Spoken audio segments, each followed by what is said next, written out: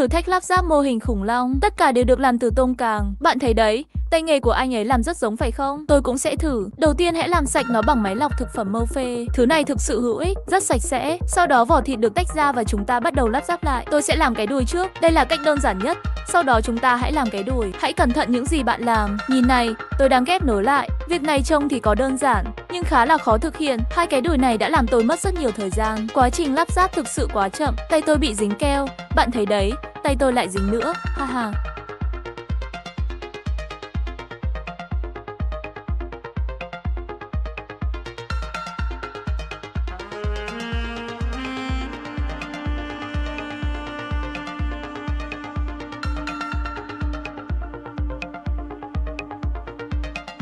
Sau đây chúng ta cùng chứng kiến tác phẩm.